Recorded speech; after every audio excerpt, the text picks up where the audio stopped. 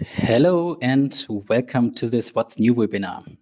My name is Malte Haring and today I will show you the changes and improvements which we've done to version 22. In this new release, we have done some bigger changes and we actually performed a complete product relaunch introducing the new Performer Suite. Thus, I'm very glad that all of you joined this webinar today because we have some great news for you. Before the, starting with the presentation, I would like to use the chance to thank all of the, our customers for their contribution to this update. Again, many ideas and feature requests were submitted, helping us to improve our software solution release by release. You've already received an email so far with the shipment of 20.2. And what's, I guess, most important of all is that you also received a new license file for the Performer Suite. So please make sure while installing the new version that you will use the new license file which we sent to you. You can also find a step-by-step -step instruction in our user manual. Here you have described all the steps that you need to take care of. Make sure that you create a database backup before installing the new version to be on the safe side. Our user manual was also updated and got a complete rework, so everything is prepared for the Performer Suite. And I can recommend to visit this user manual because here we also described in detail which which updates you can expect from this new version. So please visit this uh, what's new in version 22 page. And here you can see in detail what has changed in the case where DocuPerformer was changed to Performer Suite. Okay, so let me tell you about the idea behind the relaunch of the product. In Germany, we have this term called the eierlegende Wollmilchsau, which describes a mystical creature which is often used to describe things that are trying to perfectly solve all kind of problems at once, a so-called all-in-one solution or an all-rounder. And the DocuPerformer itself was internally also called eierlegende Wollmilchsau because over the last 12 years, we have implemented all kinds of functionalities to address a variety of problems our customers were facing. Um, but this came with a certain price. With the increasing number of functionalities, the complexity of the application increased and the usability therefore decreased.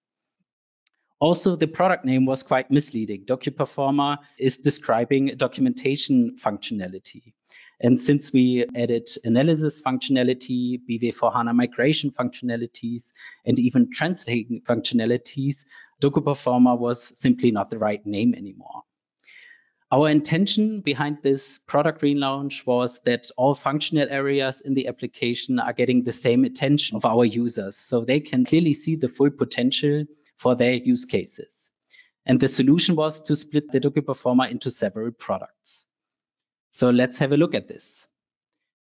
First of all, we have the DocuPerformer now, which is combining all documentation and commenting functionalities. So DocuPerformer stays, but it's simply only handling functionalities regarding documentation. All analysis functions and data lineage functionalities are now combined in the product System Scout. The migration booster is taking care of all your BW for HANA migration tasks.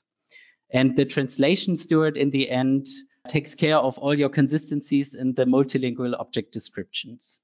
And all four products are in the end combined under the umbrella brand Performer Suite.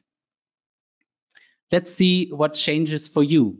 Actually, not too much. So um, first of all, as I already said, you received a new license, which is basically covering the same license as you had before. We introduced a new application icon. So if you were searching after the update for your DocuPerformer icon on the desktop, you will now have to search for the new Performer Suite icon. We introduced a new launcher to the product. So whenever you start the application, you will receive this window where you can log in as usual, but then you get to the point where you can start the product which you would like to start with. So here you will have a list of DocuPerformer, System Scout, Migration Booster, Translation Steward, but you will also have the possibility to uh, go straight to the administration area. And furthermore, of course, the application itself changed in its structure. Let me show you how this looks like in a live demo. Here you can already see the new Performer Suite icon. Let me start this. You will have a new starting screen, which is quite nice. And then you will get into the logon area. Here you go. So as usual, you have the selection for the language which you would like to see the application in, and then you can type in your user and your password to log into the application. And now this is new to you. We integrated a launcher and here you will choose your starting point where you would like to start. If you want to start doing some documentation or commenting, you will go, of course, to the DocuPerformer. If you would like to analyze your SAP systems, use the System Scout. If you have BW for HANA migration tasks to do, choose the Migration Booster. And if you have translation work to do, choose the Translation Steward. So let me uh, simply start the System Scout for now. And you will see that the launcher leads you straight away to the analysis function.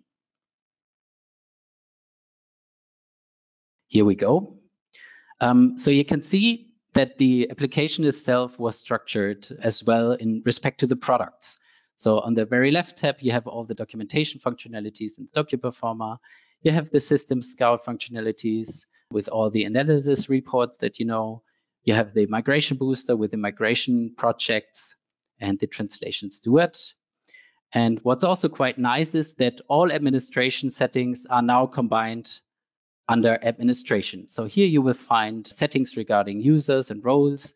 You will find the subsynchronization, all the settings regarding setting variants, but also all template and variance tasks. So here you will be able to create your documentation templates, your commenting templates. What's also important here, you will first of all see now all the connection data which you can maintain to your HANA systems, to your BO systems or SAC system. And you can even maintain the subsystem description levels and the mapping of your HANA schemas and so on. So this is restructured and as you can see, quite nice. It's easy to jump from product to product depending on, on what is licensed. Okay, let's jump back to the presentation and I will show you what additional features you can expect from this new release. First of all, we give you the option that the admin user can set a central documenting path so, so far it has been possible for every DocuPerformer user to select his own path where he wants to store his documentation files.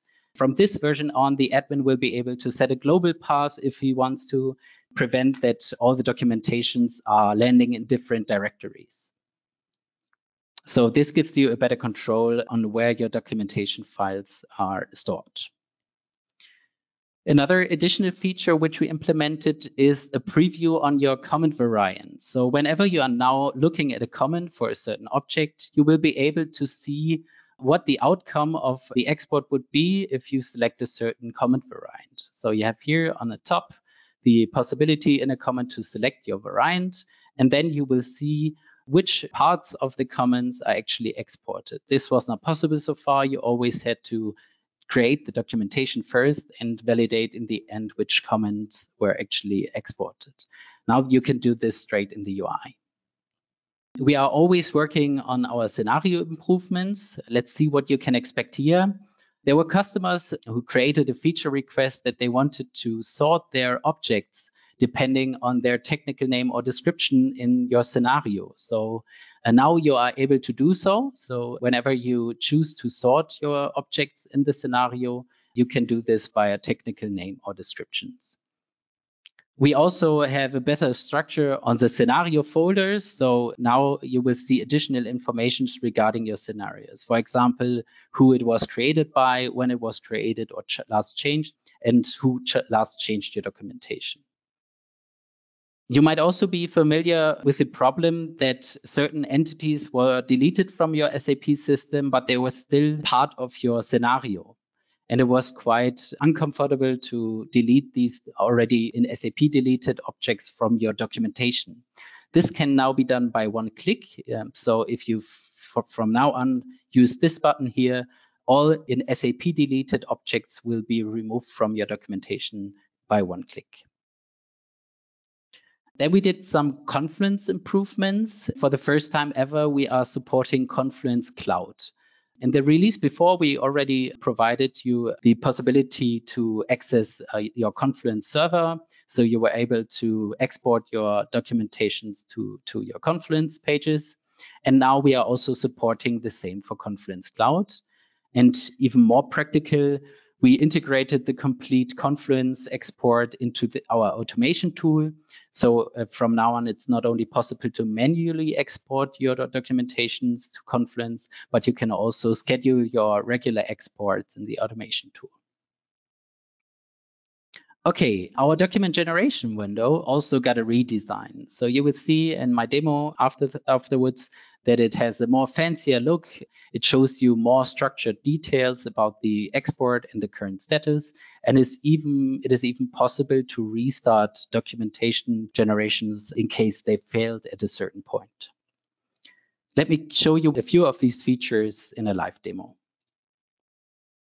So first of all, I would like to show you that it's possible to set up the Confluence Cloud connection.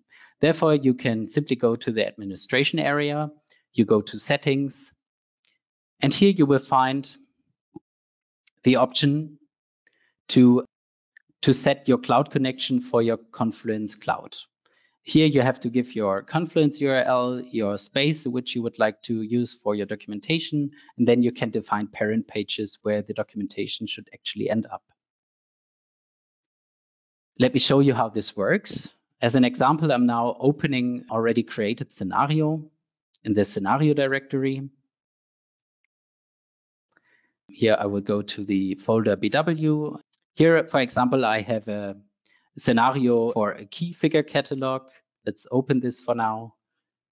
And what I would like to show you first of all is how this sorting, the automatic sorting of the entities work regard, um, in respect to their technical name. So you can here already see that the objects, the calculated key figures, and uh, the restricted key figures are randomly added to the scenario. And by just one click now, here on the top, I can sort all the objects by their technical name. And you will see that they are now yeah, clearly structured. For sure, you can simply change this setting if you like to, and you can even sort your objects based on their technical name or description for a certain chapter. So this here is kind of a global setting for the complete scenario. And if you select the context menu on a certain chapter, you can even do this sorting simply like this. But let me at least show you how the document generation window works from now on. So if I try to uh, create a documentation, you will now see that the new document generation window will open and it clearly shows you the kind of file which is being created.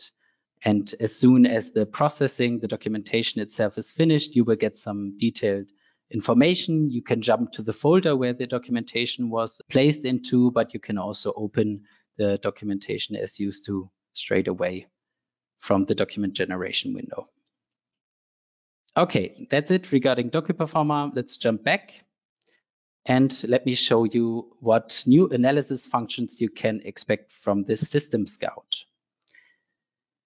For the first time ever, we are allowing you to do where used analysis of ABAP objects, BW objects, and uh, show their usage in HANA entities. In this example here, we have, for example, the usage of a composite provider, the indirect usage of a composite provider in an external calculation view, which was created by a query.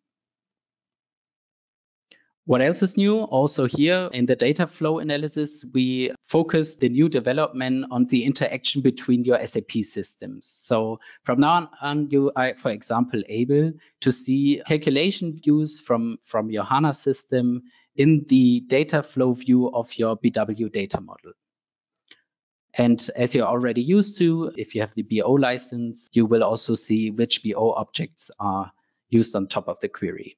So I think this picture shows quite nicely that we are once again combining all three systems, all three worlds, the HANA world, the BW world, and the BO world in just one analysis. A quite a huge feature is our new HANA code scan. So you, you might already know our ABAP scan, which is allowing you to search for ABAP strings in your ABAP coding in the BW system.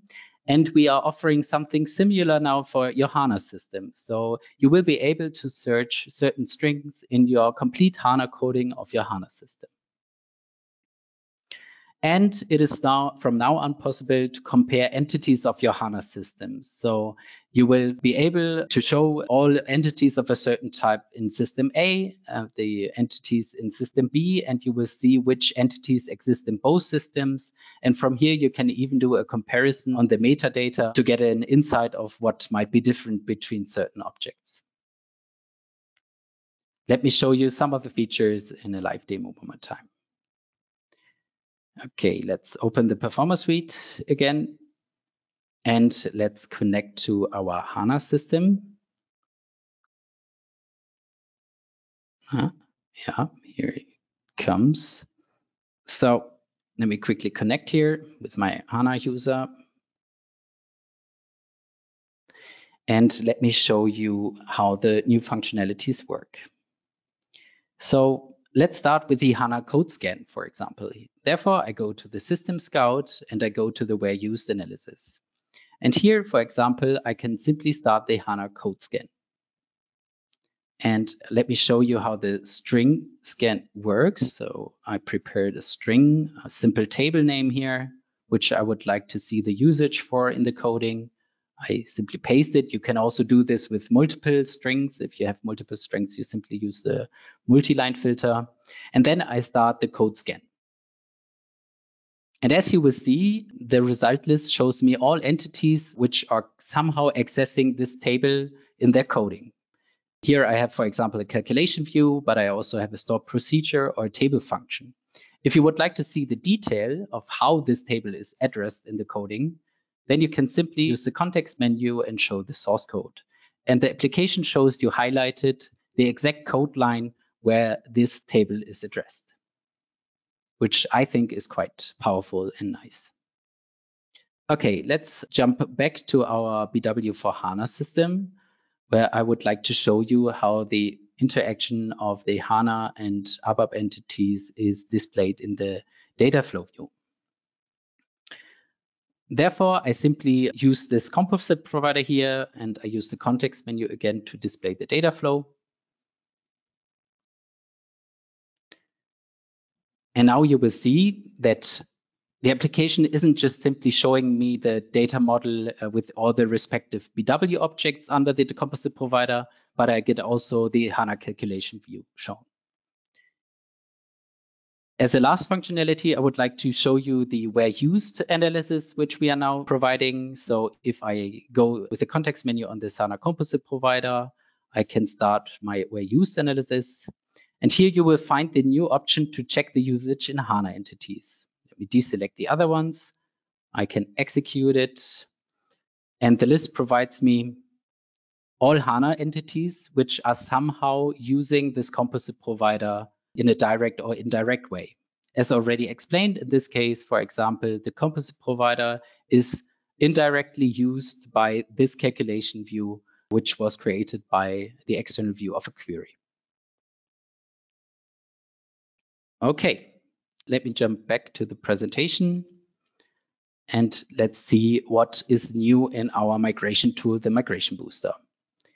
So for you, for those of you who are familiar with the migration booster or with the migration module, as it was called so far, you know that it was used to migrate certain old data models of your old BW system into BW for HANA data models for your new BW for HANA system.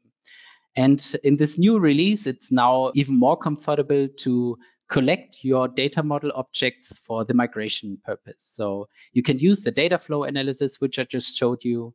You can select all the objects which you would like to transfer into the new object types and collect those for the migration booster and simply import them into your migration project. If you want to, you can set new namespaces and so on to get everything ready for your BW for HANA migration. What I think is even more valuable is our new query backup functionality. You all might know that there are sometimes endless discussions with your business counterpart if certain queries or reports should be considered during the BW for HANA migration or not. And business usually tends to to say, yeah, we need this report. Maybe we need it in three years one more time. And IT always tries to save work during the migration and only wants to migrate what is necessary. With this backup functionality, you can actually postpone this question to the future. So simply use our migration booster to create a backup of your query.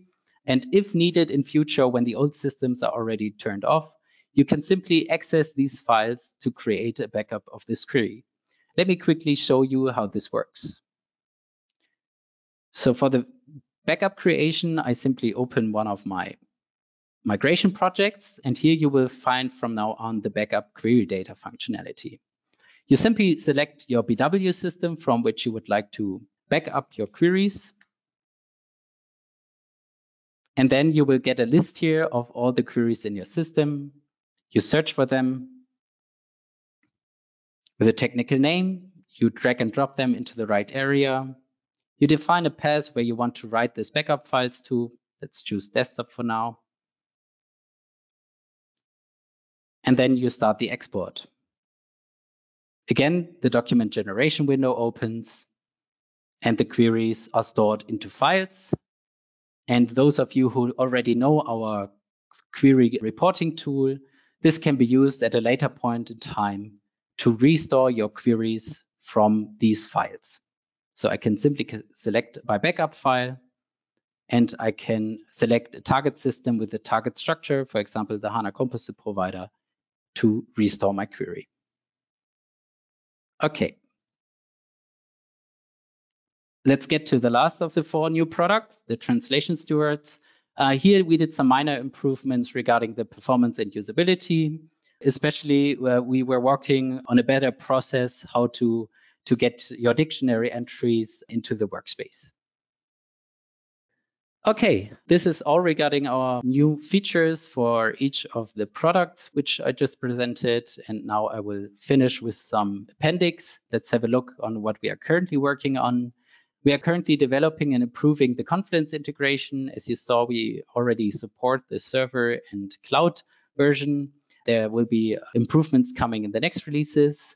We are furthermore developing and improving the SAP SAC integration uh, SAP Analytics Cloud. Here you can expect where used analysis. So you will for sure see which queries are used in certain SAC stories via data models.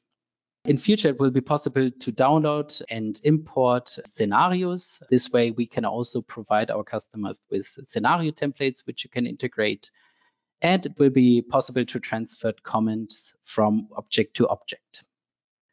Okay, if you saw any features today which you would like to test in future and you haven't already licensed, feel free to get a free trial. Contact us simply by email, phone, or by our new website. That's it from my side. I hope you enjoyed today's session and I hope to see you soon in our next webinars. Bye bye.